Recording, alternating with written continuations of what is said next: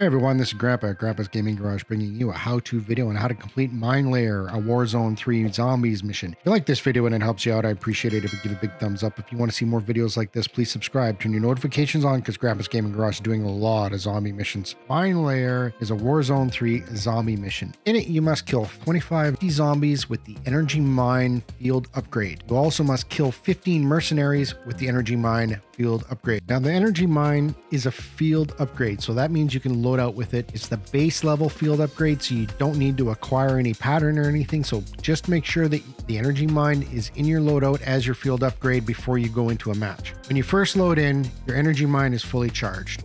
Once you use it the first time, the energy mine is completely depleted. In order to recharge that energy mine, you must kill zombies. Killing zombies recharges your energy mine and gives it back to you for another use. Now, to kill zombies, really, it's not that difficult on this map because there's zombies everywhere. However, you can increase your chances of getting them close to you by using monkey bombs. And if you smash a passenger side window or driver side window of a car, the car alarm will go off and they will attract the zombies to the car and make it easier for you to get them killed. Mercenary kills are more difficult. The reason are is because they're not attracted to anything, they act on their own, and the AI, I think, is overpowered in this game, so they can be more difficult. However, mercenary lairs and the mercenary camps are the best place to get mercenary kills on the maps. So you're going to have to ransack and jump onto these mercenary lairs. Mercenary camps I find are a lot easier. However, they do see you coming, so you're good. You can get shot at quite a bit. Those mercenary camps. However, getting into the mercenary camps and just running in, dropping your mine, and then running out, that's the easiest way to get your mercenary kills. And that's it. Once you have all these kills, you'll have this mission complete. If you like this video and it helped you out, I appreciate it, but give a big thumbs up. If you want to see more videos like this, please subscribe. Turn your notifications on because Grandpa's Gaming Garage is doing a lot of zombie missions. Thanks for watching. Enjoy the game.